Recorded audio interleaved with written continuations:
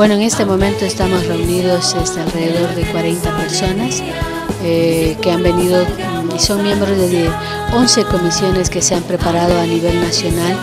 Eh, como decíamos en la asamblea, ¿verdad? Estas comisiones eh, nos ayudan un poco a enmarcar todo el trabajo que es del evento como tal del Congreso Americano Misionero. Después, como se ha podido conocer también, vemos que a nivel de Santa Cruz hay otras comisiones que son más de tipo operativo, en lo logístico, en lo práctico, ¿no? Pero estas comisiones nos ayudan a dar unas pautas de todo lo que sería el Congreso a nivel eh, continental.